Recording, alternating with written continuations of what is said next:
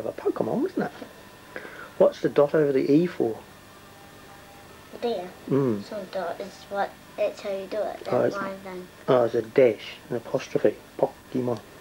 I think it's really good. Careful.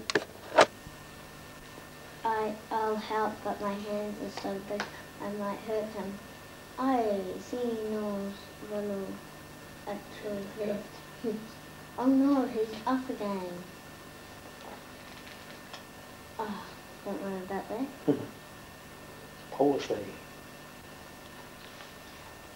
We're slowing down, let's catch him before the crowd gets on the train. Mm, Yep, No. Sombrero, hat, parasol, umbrella. Think because look. Mhm, Yeah. Come on. No, forget the umbrella, it might hurt him.